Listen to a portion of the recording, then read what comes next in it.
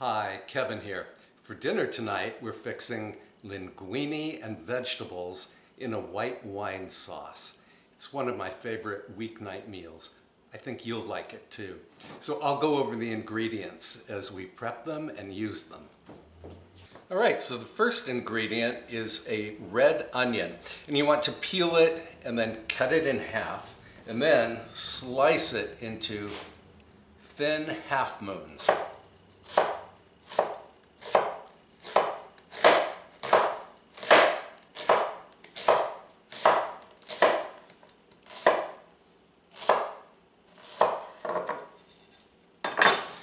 And then put the onions in a bowl.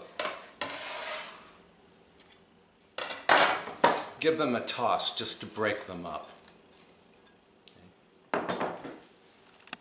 Okay, next is a summer squash. It's a yellow squash. And you want to lop off the ends.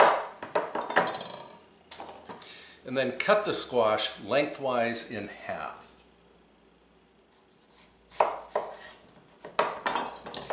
And then cut each half into, oh, quarter inch to half inch pieces.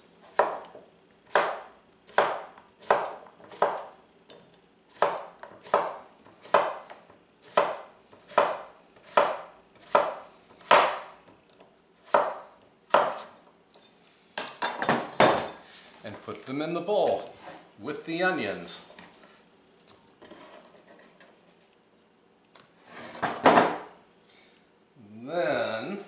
see, I'm going to do a red bell pepper. This is a large bell pepper.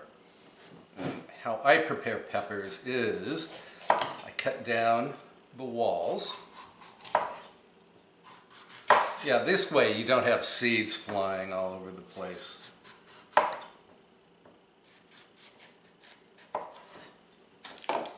And then stack the peppers, maybe you know, two layers at a time, and then cut them into just thin strips.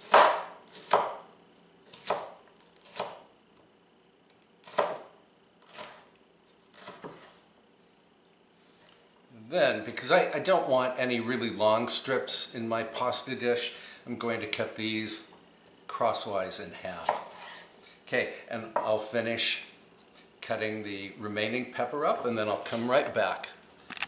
Add the cut up pepper to the bowl.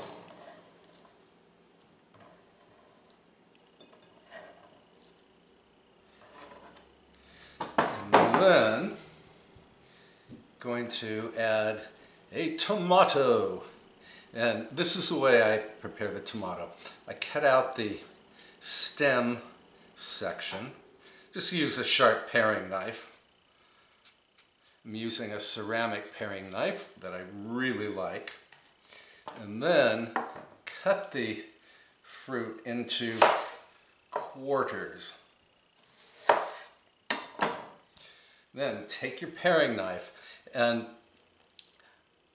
I don't want all of the juicy pulp here and it's loaded with seeds.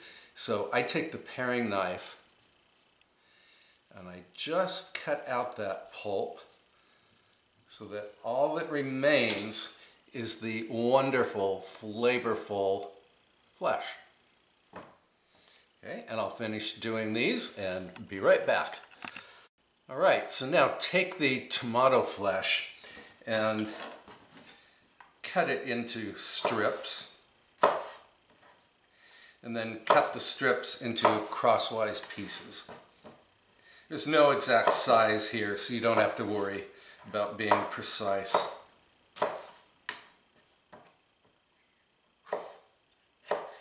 Just cutting mine into thirds and then cutting crosswise.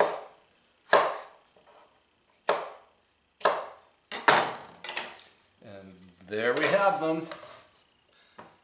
Into the bowl they go. Now I'm going to move you over to the stove top. Okay, my water is at a rolling boil. So now I'm going to salt the water. You always want to salt the water after it has come to a boil.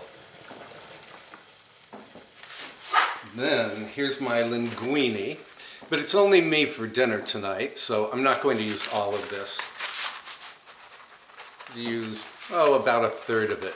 So I do want to have leftovers. In it goes. That should be enough.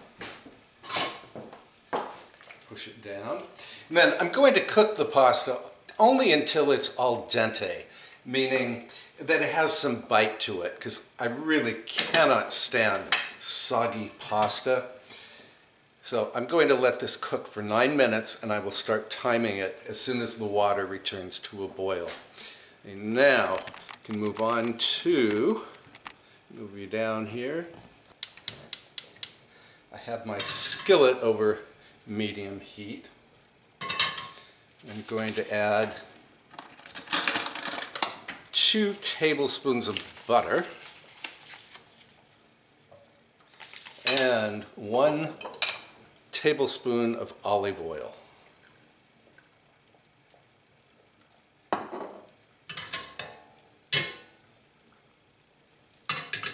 And as soon as this butter melts, we will add the vegetables.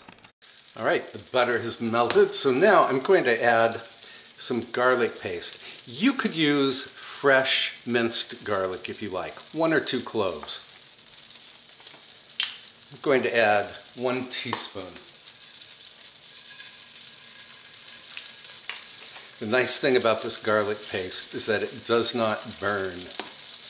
Not easily anyway. That's a quick stir. Then add the beautiful vegetables.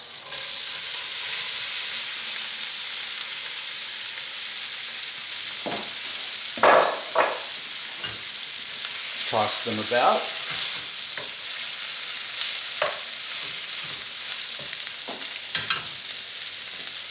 And I'm going to add some salt, just a pinch, and some freshly ground black pepper.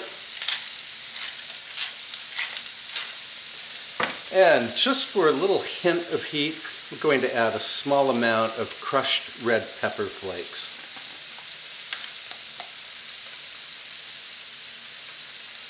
Just this much.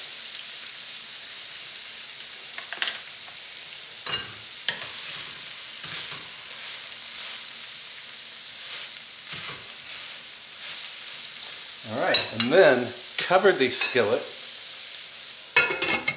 lower the heat, and let the vegetables sweat or steam just until they're crisp tender. This is going to take about five minutes, so we will come back. While the veggies are cooking, I'm going to shred some smoked mozzarella. Now, if you've never tried this stuff, you must. It's ridiculously delicious, okay? Okay, my vegetables are tender crisp after five minutes. So now I'm going to add some white wine. This is just uh, Pinot Grigio. It's not an expensive uh, brand, but it's certainly a drinkable brand. I'm going to add about a half cup. You want to bring this to a boil and let the wine boil for, oh, like one minute just to burn off the alcohol. When that happens, I'm going to plate this up and then I'll show you what the dinner looks like on the plates.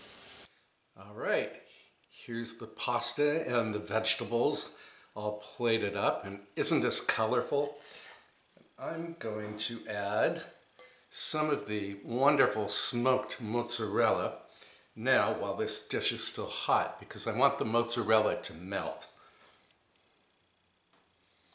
Then I happen to find some fresh basil at my local farm store earlier today, so I'm going to tear up a few of the leaves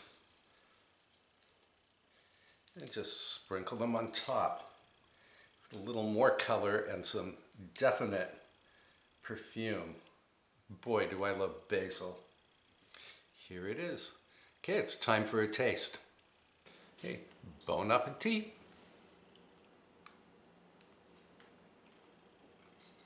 Mm. Beyond delicious. Okay, Mr. Fox is in the city, so he is really missing out on a spectacular dinner. And I have to tell you, this is one of the best dinners I have ever put in my mouth.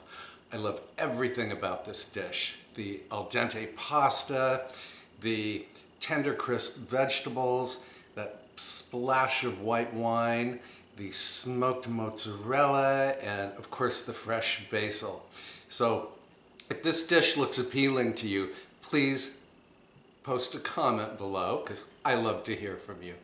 All right, thank you so much for watching. I'll post the list of ingredients in the description below and I will see you very soon. Thank you for watching. Bye-bye.